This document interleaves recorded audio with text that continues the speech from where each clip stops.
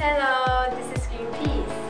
And we are going to talk about our Greenest Challenge! Uh, yay! It starts with the whole world. The scale of this story is quite big. All of the creatures are supposed to be in harmony, following nature's law like food web and migration.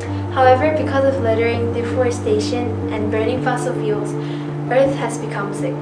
And so we, Green Peas, have come together to make Earth a better place. To do this, we need all of your help. You know the saying, two heads are better than one. In this section, we will give you two weeks long missions to help the environment. The missions might include walking more or riding the bicycle more to avoid using automobiles, or even using the stairs more than the elevator.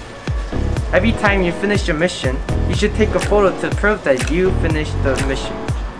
Then you should send them to us so we can record your scores.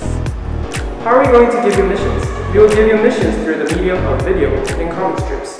We will inform you of what the mission is, then we will have a showcase of what it might look like to do the missions. Now, if you say, I'm not really interested in saving the earth, we can give some motivations to you. We're going to give prizes to first place winner, second place winner, and third place winner. So do as many missions as you can. Also, all the prizes are going to be eco-friendly items that can save both you and animals.